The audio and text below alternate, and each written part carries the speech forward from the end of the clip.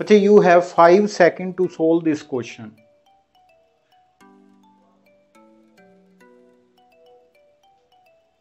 have you done let's see the trick सबसे पहले बच्चे ये ध्यान रखना है number of elements in B more than होनी चाहिए number of elements in A equal भी हो सकते हैं। तो यहाँ पर क्या है? कंडीशन है नंबर ऑफ़ एलिमेंट ज़्यादा होनी चाहिए। अगर कम है तो आंसर ज़ीरो है।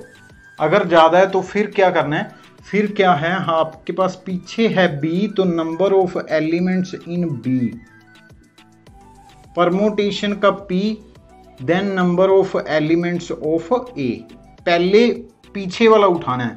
तो यहाँ पर क्या है? बी में कितने हैं? थ्री एलिमेंट ए में कितने हैं? टू एलिमेंट तो थ्री पी टू इसका आंसर है। ये होता है आपके पास three into two that is six